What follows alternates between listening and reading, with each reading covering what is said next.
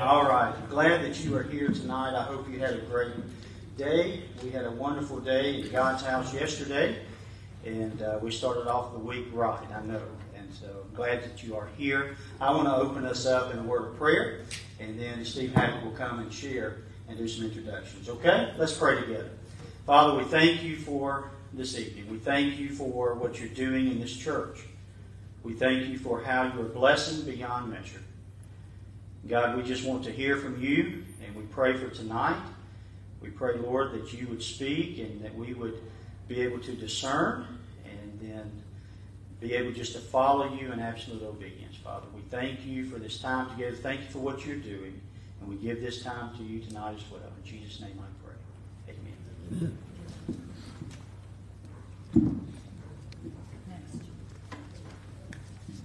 I'll stand here as well. Um, Jack, thank you for opening us up and, and for that prayer. I appreciate that very much. Um, it's my privilege tonight to introduce Dr. Tommy Gray, who is the lead pastor at uh, Asbury Church of Madison.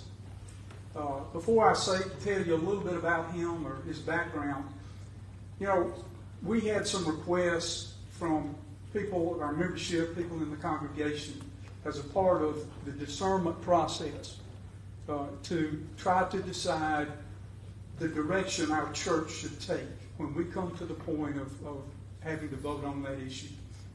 And of course, there were some who said, we don't know very much about churches who have chosen the independent route. We don't know much about that. Uh, can you bring somebody in to talk about? Uh, we, we've heard about this um, network called the Foundry, but we don't know much about that. Uh, can you bring somebody that maybe can talk about that? So that's what we're doing tonight, hopefully, and I'm not, if I step out of bounds, he'll, he'll bring me back, I know. But um, hopefully we'll give you information and give you a chance uh, at, at the close of his presentation uh, to ask questions uh, and for him to uh, hopefully be able to provide answers. And uh, maybe you'll have a little better feeling, uh, feel like you're a little better educated about that when the night is over. For those of you who are not familiar with Asbury, it was a United Methodist Church, but its membership voted overwhelmingly, something in the 90%, to disaffiliate from the United Methodist Church. And it has chosen the path of remaining independent uh, since it disaffiliated. Now, Dr. Gray has served 40 years of pastoral ministry and has also served as a district superintendent and a director of church planting in the United Methodist Church. He has been a delegate to two general conferences and has also been a delegate to numerous jurisdictional conferences. Dr. Gray is, is best known, and some of you will know, and I'm not sure what that is, maybe it's me. Dr. Gray is best known as the founding pastor of Clear Branch Church in Trussville. For those of you who are familiar with that church, I, I am. And he served there as, for 12 years as a pastor.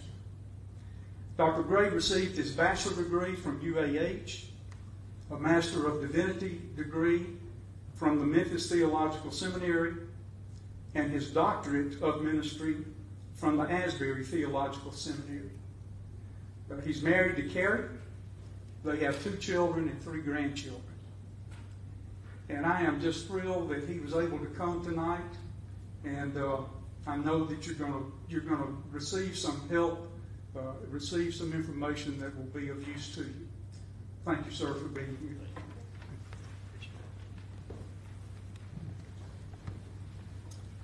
Well, good afternoon. Is this mic on? There you go. Well, don't need it that loud, so that's good. Well, it's my privilege to be with you. Just a couple things before I jump into my presentation. First of all, just so you know, my goal is to be 30 minutes or so, uh, maybe less, and then we'll just field questions. So that's that's my goal. I've done a number of these presentations primarily for churches who are trying to decide if they were going to disaffiliate or not. And I've started all those presentations the way I want to start this one. I am not here advocating for anything. I want you to know that. I don't know you, your church. So I couldn't put myself in a position to advocate for a position. What I can do is talk about our process at Asbury, why we landed some of the places we landed, some of the decisions we made, and then just field your questions. And hopefully that will help you in your discernment process. And if it doesn't, well, that's okay. We've just spent a little time making some new friends, right? So that's our goal. I will also say this uh, I may actually uh, do something that I would never do in a moment like this, and that is look at my phone. Now, I'll tell you why. My daughter is having a pretty extensive knee surgery as we speak. It's the second one on her knee. She played basketball and all that stuff. And so I'm expecting an update that tells me everything's great. So if I look at that, just know I'm not being as rude as it might look. I just want to find out about that. Okay, so um, here's what I'd like to do. I'd like to just kind of jump in with a little bit of kind of our story at Asbury, and then I'll talk about what a network looks like, and then we'll field questions. So, uh, some of my background in, uh, you know, having been a delegate to General Conference and seeing some of the things, I believed uh, that we were going to move in the direction we moved pretty, pretty quickly. So, in January of 21, I started meeting with our leadership, our core leadership, and we began preparing for what we thought would come, which was I believed we would not have a general conference. I believed we would have a jurisdictional conference, and I believed we'd kind of end up right where we were. So we took the entire year of 21 to meet with what's called our executive board and our executive staff. That's about 15 people for us. At the end of that process, we handed off a recommendation to our administrative board. And after uh, a few months of uh, looking at that, we went toward a church vote. And uh, we had a church vote, I think, May 1st, something like that. And that's where we made the decision to disaffiliate and become an independent church as a part of a network. Now, I want to, I'll talk about the word independent this, this evening. But I want you to know I kind of hate that word. You know, I have a love hate relationship with it because as Wesleyans, I don't think we really believe in being independent. But if you move in this direction, that's technically what you are, you have to function that way. But I think you need the benefit of relationships. Okay? So here's what we did. We, we looked at three options. We narrowed it down to three options that we believed all would be viable for our church as we disaffiliated. We looked at the Global Methodist Church. We had Keith Boyette, who is, uh, at that time, was the head of the Wesleyan Covenant Association, now is leading the Global Methodist Church, and he came and spoke to our leadership. We looked at the Free Methodist Church. We had Bishop Keith Cowart, who is the bishop of this area of the Free Methodist Church, and he came and spoke to our leadership. And then we had Brian Collier, pastor of the Orchard in Tupelo, and a multi-site church, and the first United Methodist Church of size to disaffiliate. Brian's a good friend, and he came and presented something similar to what I'm presenting to you. And our leadership began to discern between those three.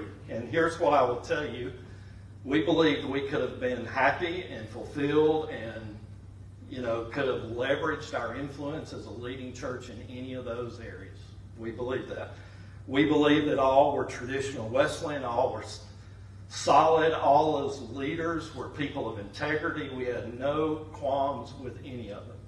But we did have to begin to assess between the three what we thought were strengths and weaknesses of all three, including the one we chose. So let me just kind of map that out for you pretty quickly. The Global Methodist Church, we felt like the strengths were that it was most similar to what we'd always known as closest to the United Methodist Church, so it felt very familiar. Uh, at that point in time, it was actually the only option most of our church had even heard of. So we knew that had a lot going for it. And quite frankly, it allowed you to maintain the most relationships. 40 years of pastoral ministry and leadership in the church, a lot of deep relationships. And those don't just go away if you go another direction, but they change, they shift. And so, so those relationships would have been maintained uh, stronger. The greatest weaknesses we saw were really two. One, the highest apportionments uh, at that time. Uh, they were saying anything up to 10%. I believe now it's 2% and may land around 6.5%, but I would just encourage you to do your homework and understand that. For Asbury, when we disaffiliated from United Methodist Church, our yearly apportionments were $550,000 a year. So that mattered to us, right? The amount of money we had to send somewhere else really made a big deal to us. So that was one weakness. And second of all, we believed it had the highest bureaucracy, including the credentialing of pastors. And I really believe that's pretty significant to the recruitment of next generation leaders. So that was kind of our leadership's assessment, strengths and weaknesses of the two. The Free Methodist Church, uh, the strengths were accountability with low bureaucracy, and there was an easier credentialing process. I- will give you an example of that. Chris Letson, who's one of the pastors on our staff, Chris has had some seminary, and in our conference, she could be a full time local pastor. But in the Free Methodist Church, she already had enough to be a ordained elder, which she chose that route. She's still on our staff, but she's an ordained elder in the Free Methodist Church. And at some point in time, we'll likely make a move to a, to a Free Methodist Church. We bless that. We believe every pastor, leader, church needs to kind of discern where they're going. And so that's just an example. In the United Methodist Church, she could be a local pastor. In the Free Methodist Church, she could be an ordained elder. Lower apportionments for large churches in the Free Methodist Church because they cap their apportionments at 180,000. That's not as big a deal for smaller churches because you're going to probably pay about the same amount if you're a small to mid-sized church. But as you get larger, that becomes an issue and we felt like it had a strong vision. Uh, holiness, the power of the Holy Spirit, and social impact. Free Methodist has to do with free pews. Back in the day when Methodists sold their pews to the highest bidder, the front, if you if you were the wealthy folks, you sat down front. I jokingly say today we'd sell the back pews. We'd get more the back ones. But free pews, free spirit, wanted the Holy Spirit to be free to move, and free people stood against uh, slavery and all, all the things that came along with that, which is one of the reasons it's kind of weak in the Southeast. That's just one of the real. But we believe in that heartbeat of Wesleyanism, which is personal and social holiness going together. So we saw that as a real strength. Weaknesses, there are really few churches in the Southeast. At that time, uh, there were two in the state of Alabama. Now there's three. You might have heard of the third one, Frazer, you know, pretty big one. You may also know that Chris Montgomery was our executive pastor when he was tapped to be the lead pastor at Frazer. And so he knew kind of the plan we were doing. He ran that plan, and for Frazer, it led them to the Free Methodist Church. It led us to a different place, you know. And he's an incredible leader and has done a good job there.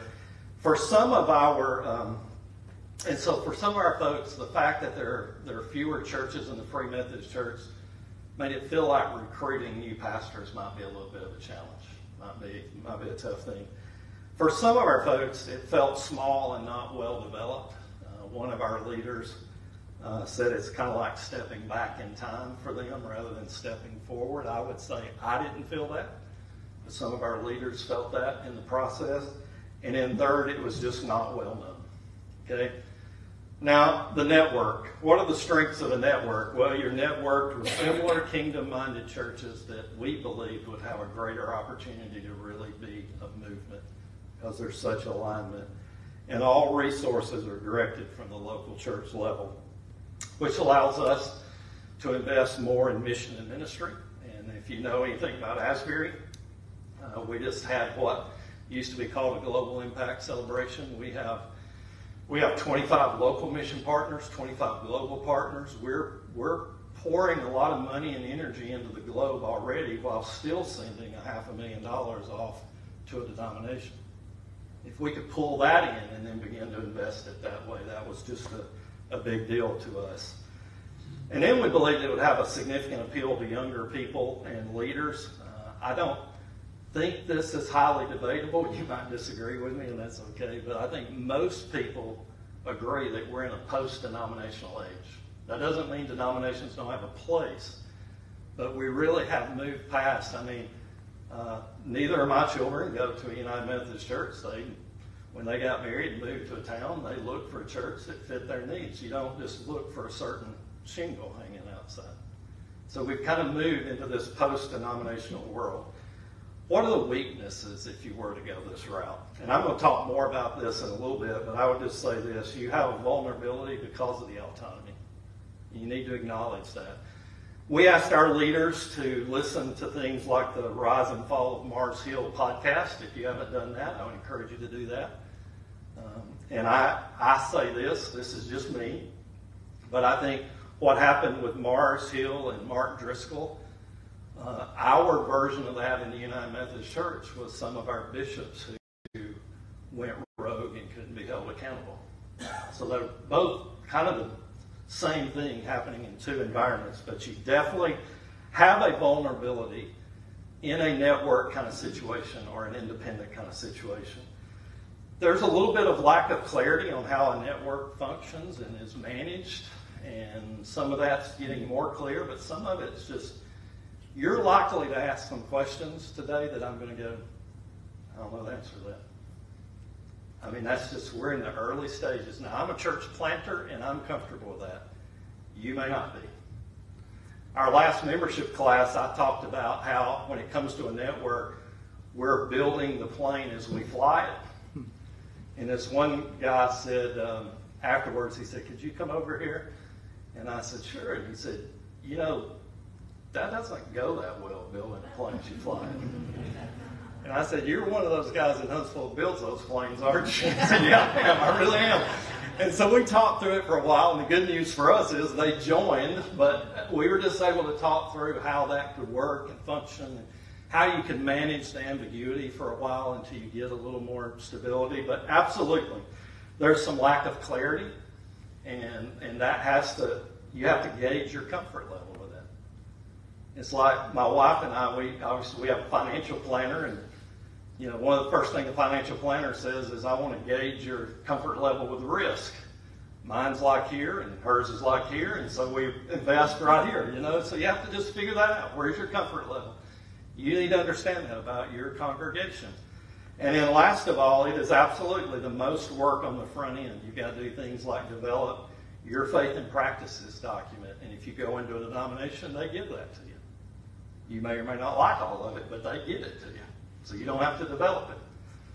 So we chose a network. Why did we choose a network? Well, if I were to sum it up in two or three things, I would say number one, um, the apportionment issue was a big deal to us. Second of all, a leaner structure that allowed us, we believe, to recruit younger leaders. For example, we have a summer intern program, 10 people graduating high school about to go to college come and spend the summer with us and they take a look at what ministry might look like. We now have a year-round residency. We have three residents who are post-college spending a year with us deciding if they want to go into the marketplace as a missionary or go into vocational ministry. We're really committed at Asbury to the next generation of leaders. We felt like this environment helped us be more attractive. You might decide different, but we believe that. There are really four things that a church has to be able to do, even to consider being part of a network or an independent church. One, you have to be able to self organize. Now, you seem to be doing that right now, but I can't imagine there are not at least a few bumps in the road, right? Um, can I get an amen or get a witness? But anyway, you know, I, I, preach camp meetings. I'll beg for an amen if I need to sometimes. But you know, it's just the nature of trying to develop something. Can you self organize? Can you self generate? In other words, funding. I suspect you can. I'm looking around here. You got enough people. You can probably fund. I mean, if you're looking at buying this building already, you can probably do that. Third, are you self sustaining and are you self reflecting? So if I take those things, I would I would kind of try to bring it together like this.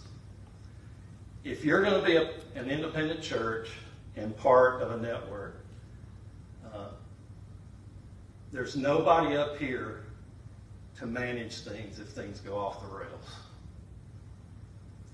Okay? Now, look, I'm pretty balanced on all this. Uh, we also, in some cases, were supposed to have some people up there managing things who didn't. And that's why we're here. So I simply say no human construct, whatever leadership construct you're in, can guarantee that it's safe from the fallen human nature, whether it's a denomination or an independent network. So that's just part of the reality. You can try to your best, and we're going to do that, but you can't guarantee it. Second of all, can you find your pastor? I'm currently, just because I'm friends and know folks, I'm helping two churches right now in their process of searching for someone. Because there's just nobody up here to do it. And they said, You at least used to appoint people. Would you help us work through this? And sure, I'll do that the best I can. And in third, and I'll, uh, when you go this route, there's a real danger of theological drift. And, uh, and you need to you need to decide how you're going to anchor your theology and what that theology. Okay? So let me. Um, uh, last Thursday, we had our first gathering of a regional network. And I'm going to talk about the Foundry that you've heard about, which is a more national network, and Forged, which is a network we're launching for this region in just a moment. But before I do that, if I were to say, okay, what are the big picture differences between a denomination and a network, and try to just simplify and crystallize it the best I could, here are some of the things I would say. First of all, it's hierarchy versus relationships. In a denomination, there's a prescribed hierarchy. There are bishops, there are DSs. Sometimes that's worked well. I've benefited from that, you know? I mean, when I was 18 years old, I was appointed to serve a church. I mean, it was a small church. Didn't pay out a lot. And uh, a lady sitting right back here thought that she wasn't speaking as loud as she was, but her daughter had come and she was speaking to her daughter, and she said, Oh my Lord, they sent a kid to be our pastor. and I look back today and I go, Oh my Lord, they sent a kid to be their pastor. But you know, if you have six members, you can't mess it up that bad, you know? So, uh, but, but along the way, I was given a chance to plant a church. I mean, it, it, it, was, it was my family, my living room. I mean, it, that was the start, but it was something that gave me an opportunity. I've never been anything until now other than a United Methodist. And so um, I would just say to you all, I know you're at a different phase. You've already made that decision. But this was painful in a lot of ways for me. You know, there was a lot sacrificed in some ways along the way. But a denomination functions like that. There was a prescribed hierarchy. Networks really are all about relationships.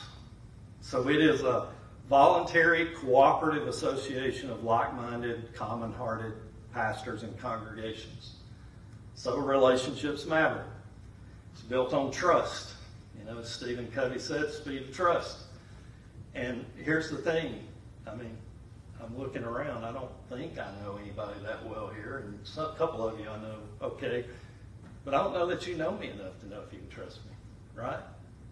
And so, in a denomination, you don't worry as much about that because you know there's some people maybe you don't trust or you don't have to get to know, but it doesn't matter as much. In a network, you need to know that these are people that we want to do life with. You know, that's, that's somebody, that's a church that I want to walk with, I want to journey with, I want to be a part of that with these folks. Uh, and what about accountability? That's always one of the top questions, right? How, what about accountability?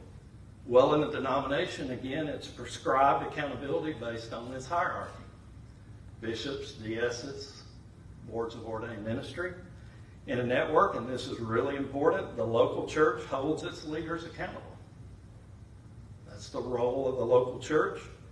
Leaders of the network maintain theological integrity, and uh, but local churches can invite network leaders into being part of that. So let me just give you an example. We haven't Asbury decided to uh, to decided to use the um, uh, Book of Discipline until we have our own faith and practices document. So we're in process. We're working on. So I can't speak authoritatively, this is what we've done or are going to do, because our board will decide that. But what I'm going to recommend at least when it comes to the chair I occupy for the lead pastor, if there is a moral failure, if there's accountability, if that person retires, or if it comes time to replace that person for any other reason, I'm going to ask them to have two pastors from the network that sit on the SPRC for that role. Because I believe outside voice and perspective is helpful in those moments. So it gives you the outside voice, but it can't overwhelm your committee. And we'll see if our church decides to do that. But it is it is by invitation. Finally, money. Show me the money, right? Well, the money denominations about apportionments. Uh, network is about voluntary partnerships. So that's what it's about. So let me give you five keywords. Here they are. One is independent. If you go this route, you have to see yourself and you have to be comfortable functioning in an independent manner. Okay? Second key word is relational. We, we don't believe, I don't believe in the Wesleyan family that we believe in total independence. We believe in relationships.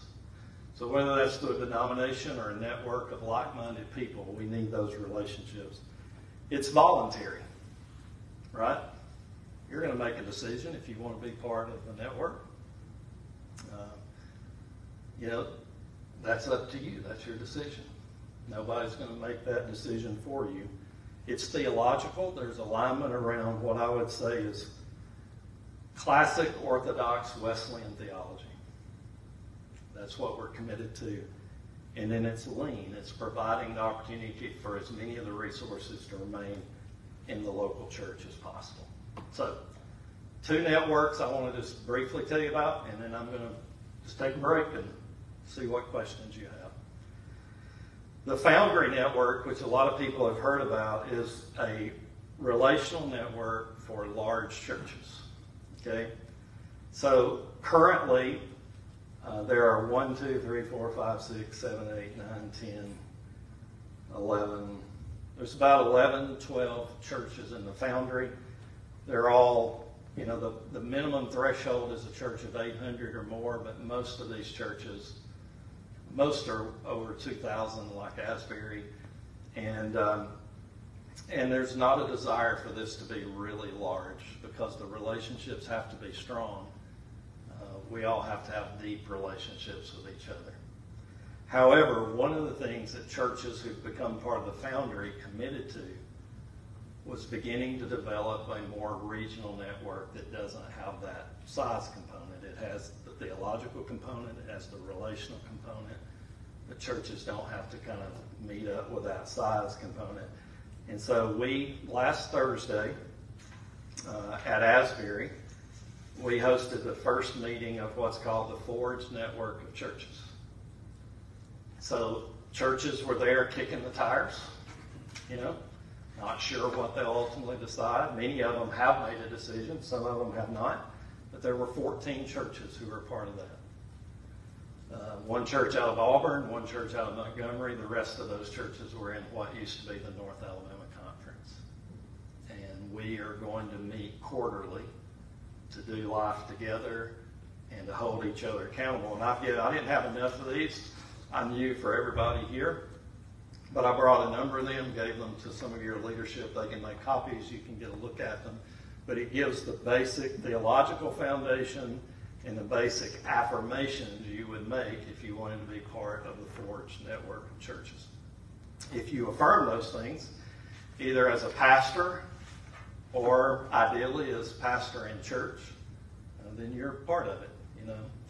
Now, when it comes to the foundry, it's a little more uh, robust in terms of not only do you meet these criteria, but we've got to get to know each other well enough to know if we want to do life together.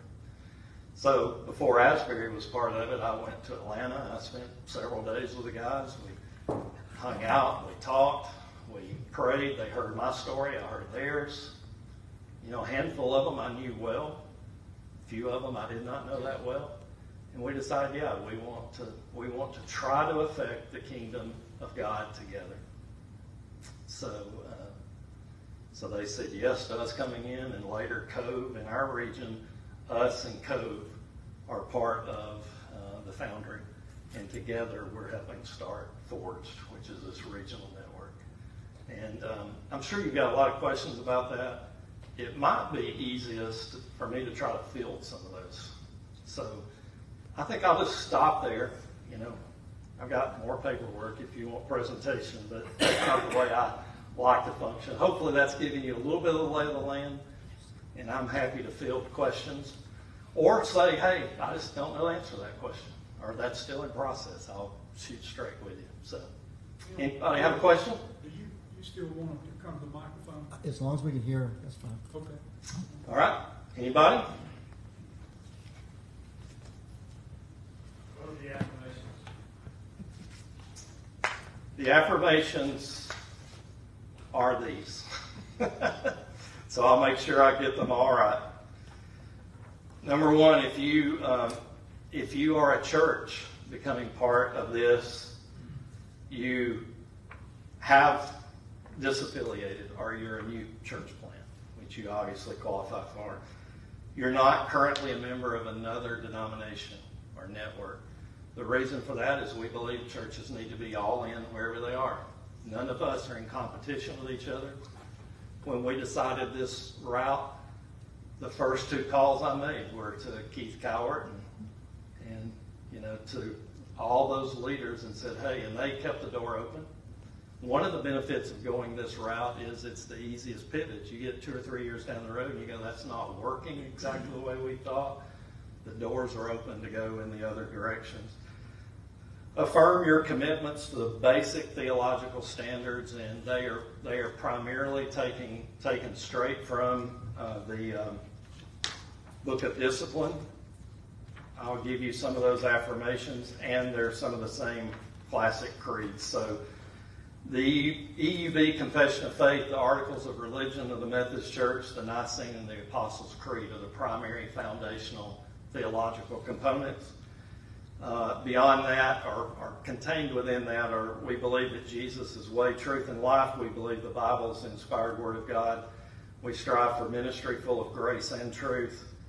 Priority is the advancement of the kingdom of Christ. As my friend Brian Collier loves to say, if it's good for the kingdom, it's good for us. If it's good for us, it isn't necessarily good for the kingdom. So we prioritize the kingdom over ourselves at all moments, or the best we can. We're committed to reach people that no one else is reaching. We're committed to relational discipleship. We're engaged in being the hands and feet of Christ in our communities. Uh, we affirm the sovereignty of God to give all believers according to his will to equip the saints. And then we affirm that marriage and sexual intimacy are good gifts from God in keeping with the teachings of Scripture historically.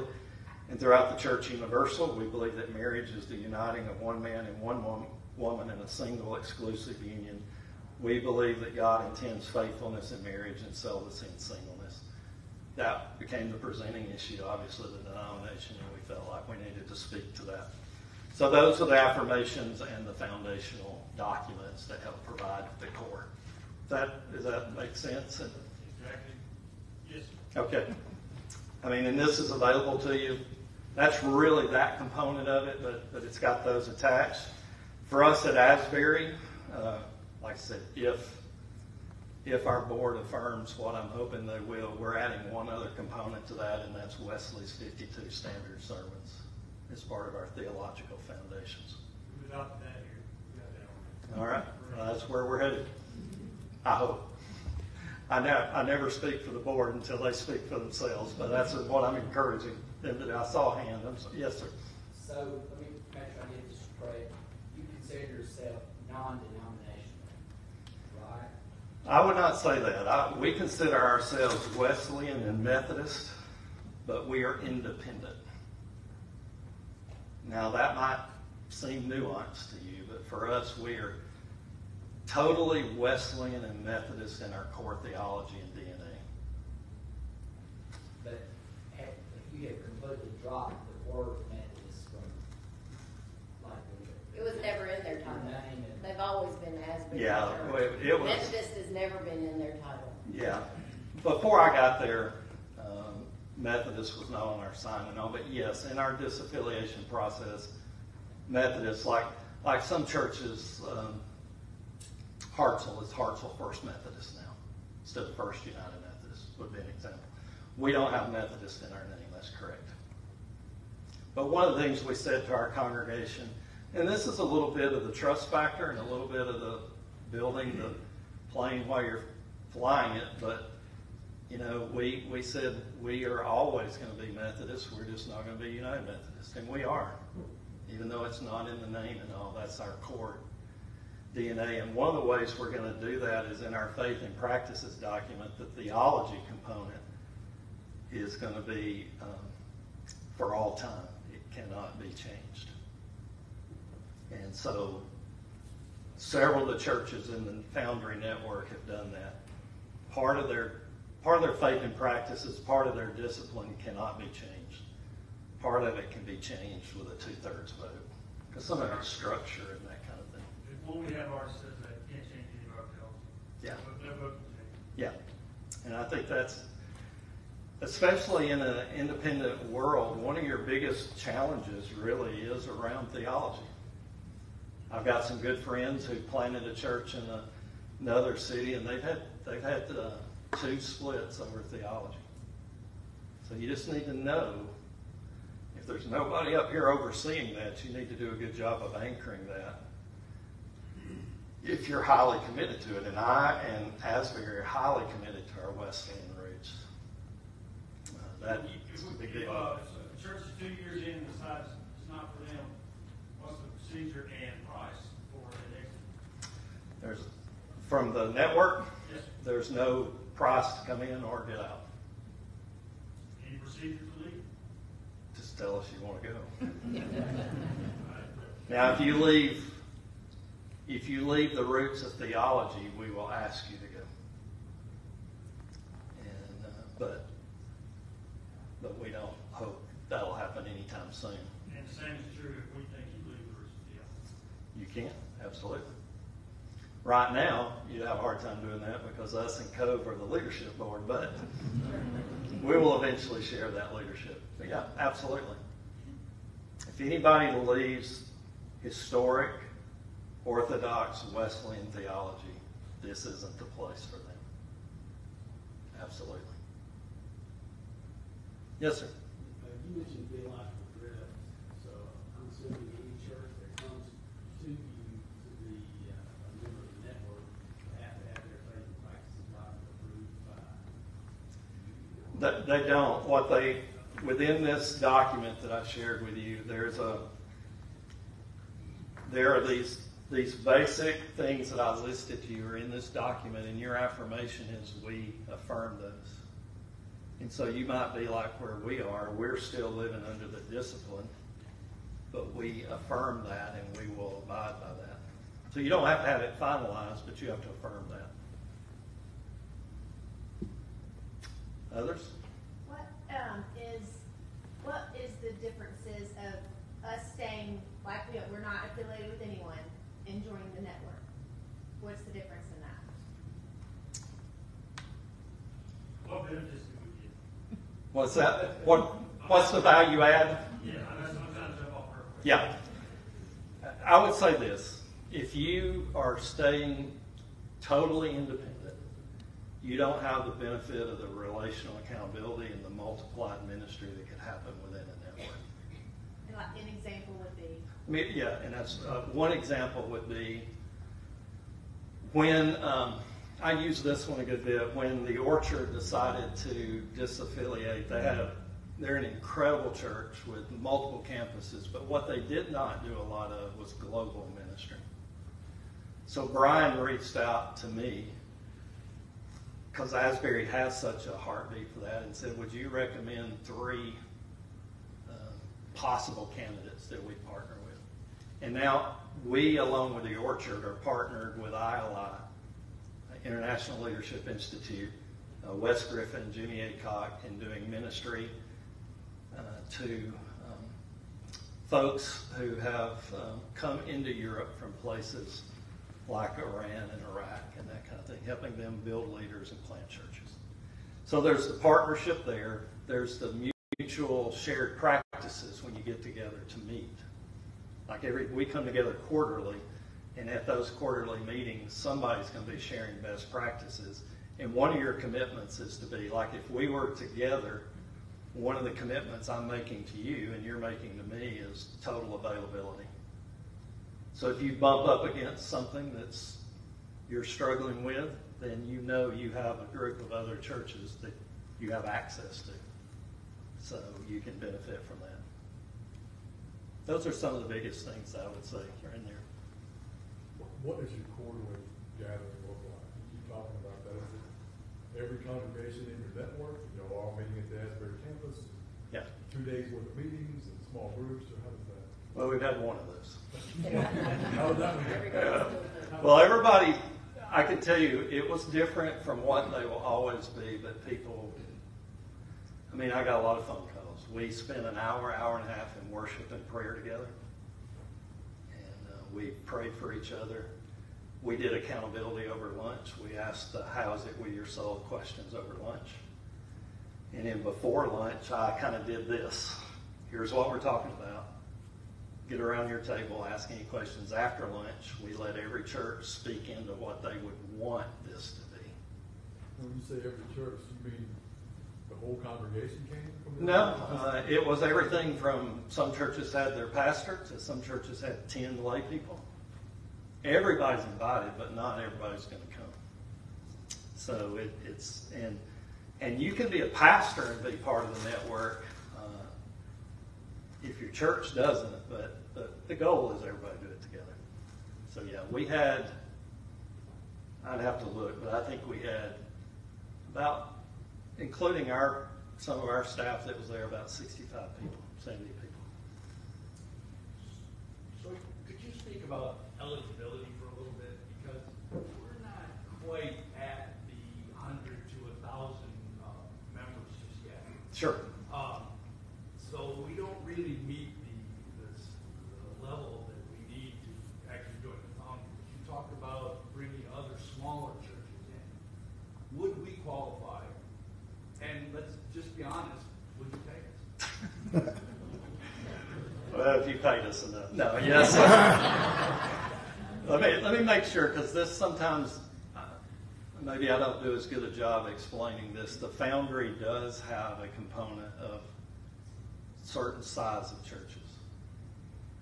The network we're starting, Cove and Asbury is starting, called Forged, is a regional network and it does not have that component to it. So if you affirm those things and you want to be part of it, yes. And so we have, we had the pastors from Vestavia Hills there, and we had a church of 25. You know, I mean, this network, this network will have a lot of variety to it. And then back to what your question earlier, most future meetings, we believe, two things came out of this first meeting.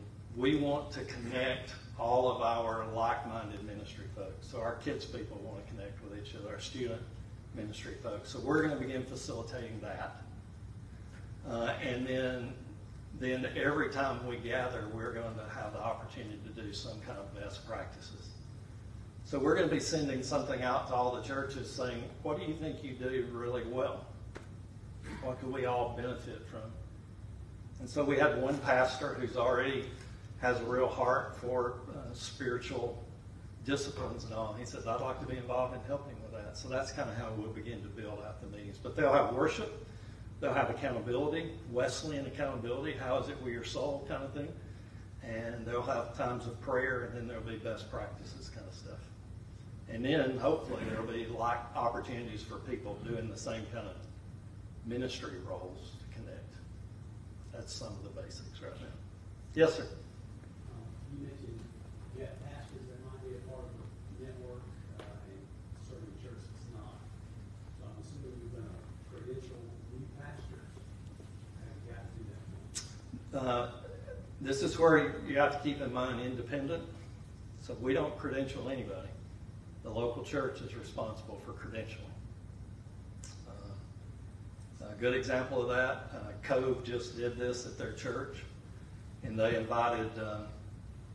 Brian Collier and myself to come be part of that. So Brian preached a message. He and I asked the classic questions, and then their board laid hands on their folks. So that's a big shift in thinking. So that's a local church decision what credentialing looks like. Can, can local churches go through this network to get just some very practical things like let's say you need hymnals. I mean, or, the- or you need Sunday school curriculum. Uh, or, or maybe just need places to get supplies at a better price. Yeah. Clerical supplies, you know, those kinds of things. Does the network provide any of that kind of resourcing?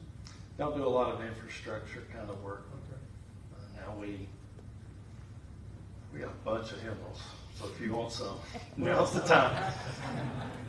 Uh, We, we decided to go with the new hymnal produced by Seedbed and Urim. So that was, that's our new hymnal. And uh, so we've got stacks of the old hymnals and people are taking them and that kind of thing, but there's still a bunch. But we really, we really like the work that was done by uh, Dr. Tennent's wife from Asbury Seminary and Seedbed and Urim. We feel like the hymnal they produce is really excellent. So that's the direction we've gone. So what we can help, for example, Bill Muntz, who's on our executive staff.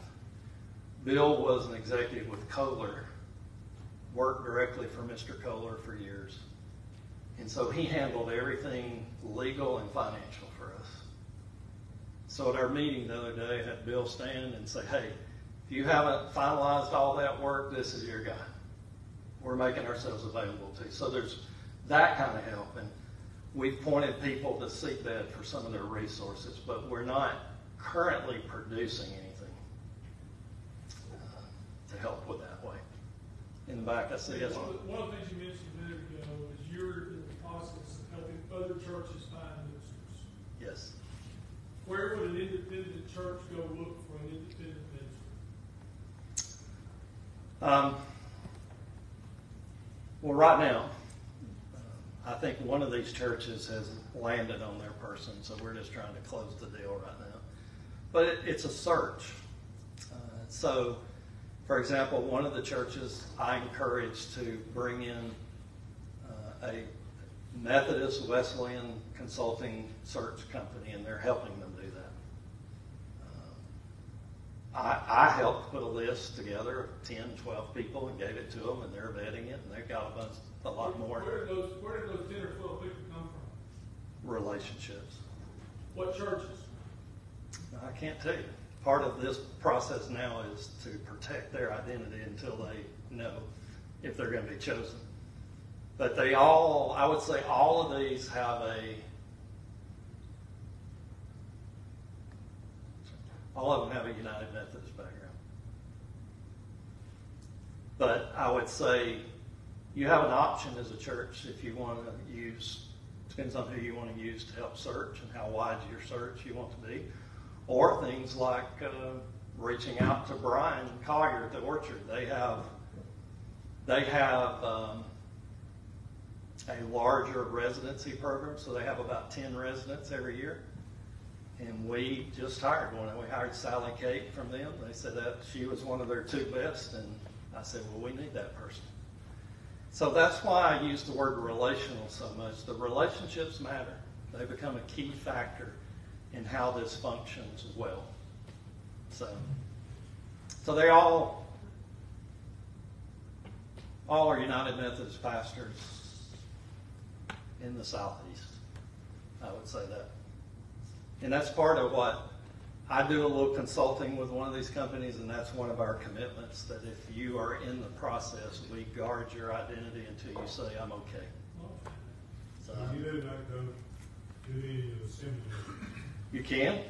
Yeah. I was, I was just up at Asbury recently. I took a prospective student up and I talked to a few people while I was up there. I mean, there, and I would also say this, our conference has not been doing this, but most United Methodist, or many, let me say it this way, many United Methodist conferences throughout the country are already using search firms. So that is not uncommon.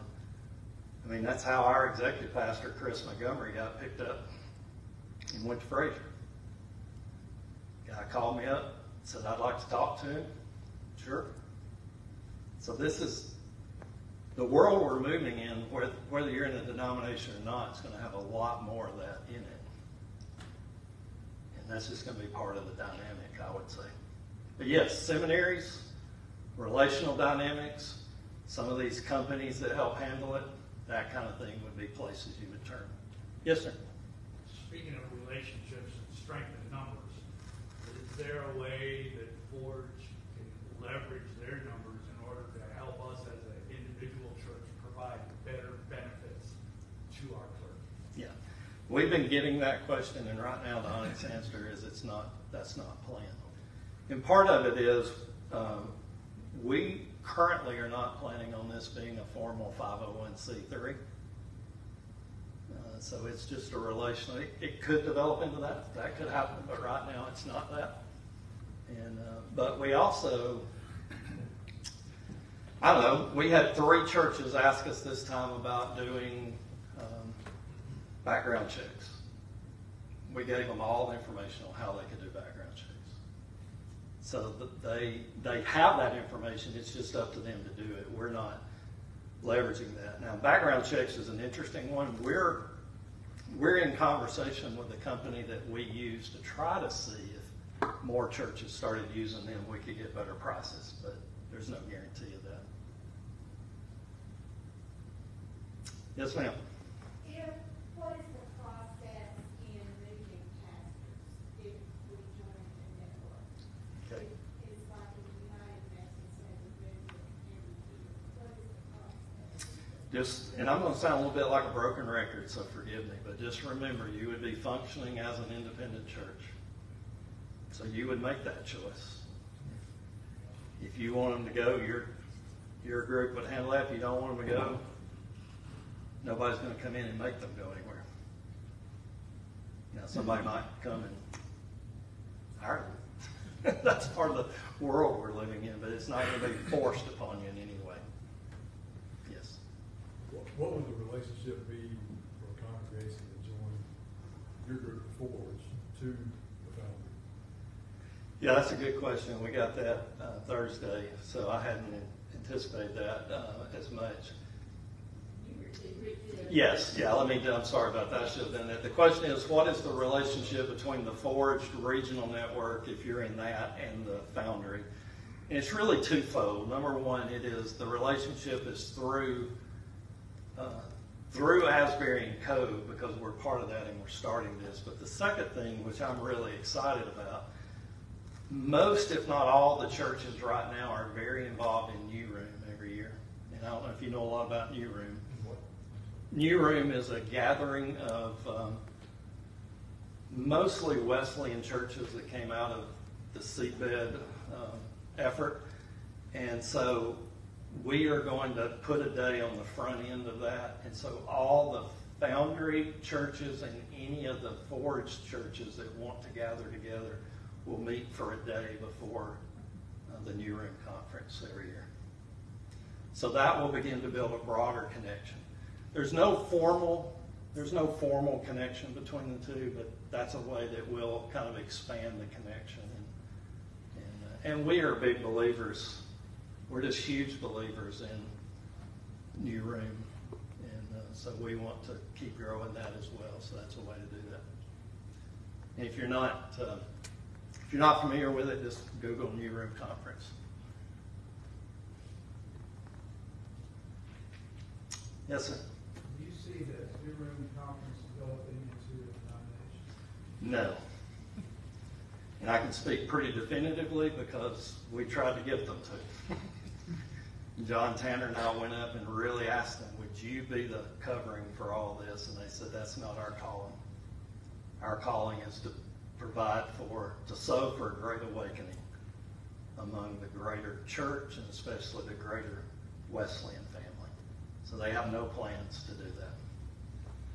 We thought they would be the perfect people to do it, but wisely, they cho they were right, they- but they just chose not to do that.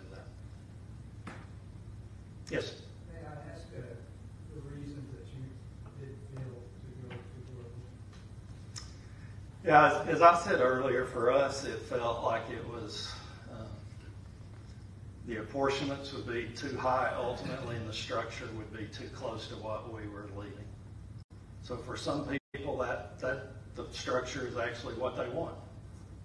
For us, we felt like that was hindering some of the things we'd like to do. That's really primarily it.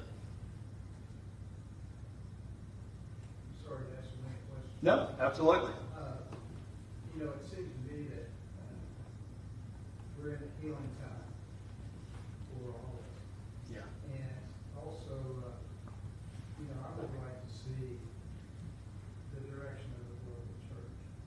Uh, Hopefully, the stars will align like we all want it to. Uh, But it's going to be a hierarchy, not dissimilar to what we just left. And what do you think about the future, as an example, for your church and the global church? Do you hold that door open at at a later time? You might consider the global church?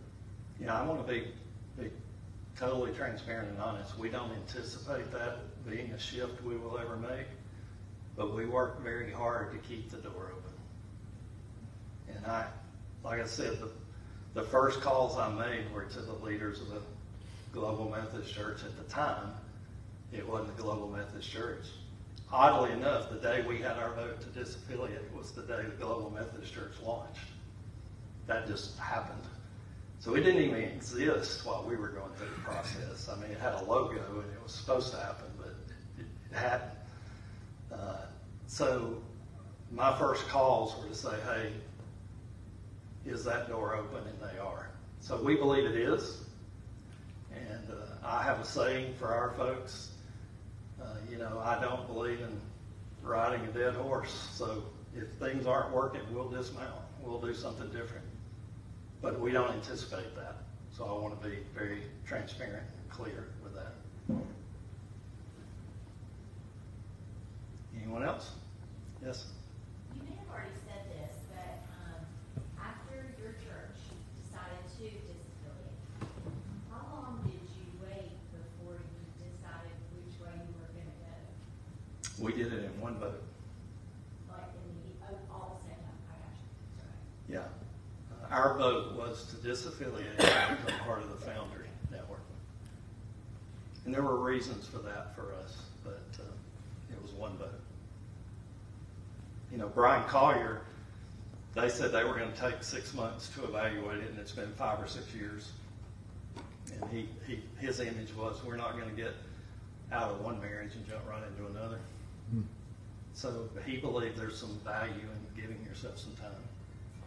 But for us, we felt like, uh, just felt like for our church, that decision would have been the one that might be most fraught with danger. So our board decided we're going to make a recommendation to the church and they can vote it up or down. And so that's what we ended up doing. You're in a different spot, I recognize that, but so Brian's situation might be a little closer and they decided to wait at least six months and they're kind of still there, you know, that kind of thing. Yes, sir. Value your opinion. I wanted to ask you, why do you think the global church delayed their meeting from twenty twenty-three to twenty twenty-four? It would seem to me that that would be so important to have that meeting this year to establish and vote on the things that we're talking about. Uh, So I was curious as to your thinking about that. I don't know. Uh, I would agree with you. As a matter of fact, we were told it was going to be 25, and then they've moved it back to 24 because I think they're seeing that reality. I think there is a danger for churches that move into an independent reality,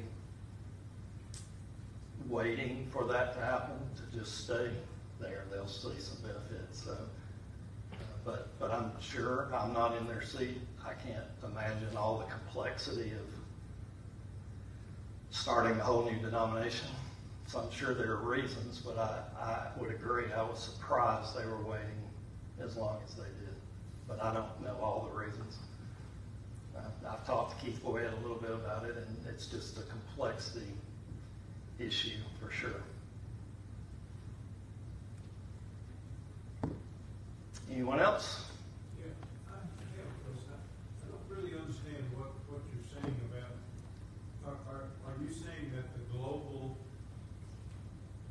global Methodist Church is still in the formative stages and they have not really defined who they are and what they're gonna do and what the rules are gonna be, et cetera? I'd like to say it a little different. Uh, I, I don't, first of all, I don't speak for the Global Methodist Church. Here's what I do know. They have a transitional book of discipline that they're operating under. And they have not had a convening conference. And so, it- my way of looking at it, until there's a convening conference, we don't know for sure. Do I believe the transitional book of discipline will be primarily what they adopt? Yes. But you've also got to realize I've been a delegate to two general conferences. You get in those meetings and you just never know what's going to happen. So, so I'm not at all, I want you to hear, I'm not at all speaking negatively about them. The facts are they have a transitional book of discipline. They have some bishops who are helping oversee the process. They have local leaders who are functioning like DSs, but they have not had a convening conference. And until the convening conference happens, it's not formal in my way of looking at it. I hope that makes sense. I'm, I'm trying to kind of, so it's not, I hope you don't hear me being disparaging, not at all. It's just, to me, that's the reality of where they are. And I hope, I would have hoped they would have done, that. even after we made the decision to go somewhere in another direction, I talked to Keith Boyette. I said, I, I would encourage you but to move quicker, but they have reasons that they're waiting, and I understand that. Uh, that makes sense.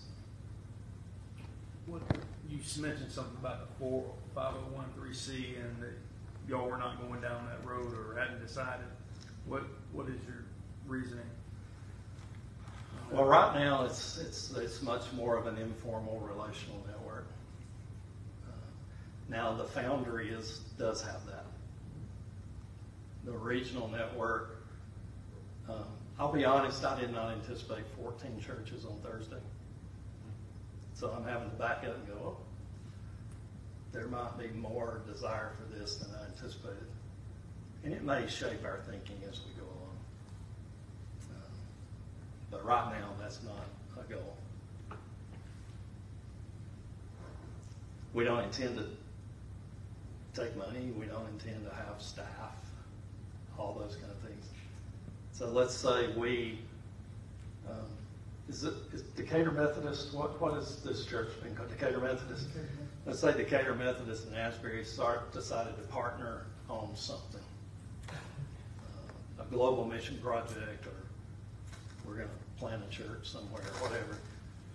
One of us would take the lead on that, and so that's where the resources would be handled and all that, but, so there doesn't have to be an organization to do that. So that's part of our thinking right now. All right, folks, we're, uh, we're an hour and five minutes in, I don't, I was gonna say I don't have any place to be, I do, but I'm not in a hurry. But I wanna respect your time, so uh, if you have questions, I'm happy to answer them, or if you feel like we've exhausted our time, I'm happy to do that as well. If Any more questions? I was gonna say, if there's something later that somebody wants to ask, is there a way to contact you that we can, should we funnel it up through? Yeah, absolutely. The, the Okay. easiest way is just to send an email to me or my assistant Lori, and um, you can get those on the website. And some of the folks here are doing that, and uh, we're happy to. We'll do our best to respond to anything that would be helpful. And I was gonna say on the, the pamphlet or brochure, I'm not sure, yeah, whatever. We've got some copies, but we're gonna have to, probably have to make at least another hundred. So uh, we'll try to get busy on that and have those available by, by Sunday. Was there any way you can make that in a PDF and just email it to everybody? Uh, I think my assistant is looking at that and may have done that today, if not by tomorrow. yeah, it'd be great. I can't. But I think there's somebody that might be doing that. I can tell you right now, I don't uh, have We the can, capacity to do that. we that. can do that and put it on Facebook. We should be able to do that, I Yeah. think. If you're okay with us putting it online, we can do that. Yeah, there's, no- there's nothing, uh, Just look it up. Okay. yeah. I'll, I'll, I'll s- send her a text just to make sure we're working on that. Anything else? Anything else just pressing before I, Did you get an update on your daughter? I haven't got anything yet, which uh, concerns me a little bit. Um, Yeah. Okay. Yes, it just came through as you're talking. Torn, torn meniscus, torn something else, everything's fixed. It's gonna be a while before she walks, but everything's good. Yes, amen. Praise the Lord.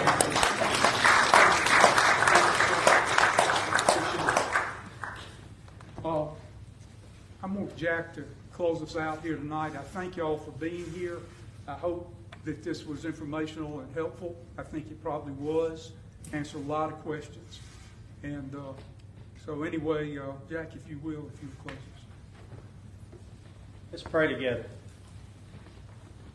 Father, we do thank you again for the opportunity to be here, to hear uh, from what you're doing in churches and in your work. Father, we pray for wisdom and, and leadership and guidance of the Holy Spirit to discern your perfect will for each one of us individually, but also corporately as a church. And so, Father, we pray that uh, you will uh, provide that, and we trust that you will. Father, we thank you for this evening. Uh, we pray for Asbury. We thank you for what they're doing for your glory, and we pray that you will continue to bless their pastor and their staff and their church and all that they're doing uh, in your cause. Father, be with us as we leave this place. Keep us safe and uh, allow us to be the ambassadors you've called us to be of your grace and mercy. In Jesus' name I pray. Amen.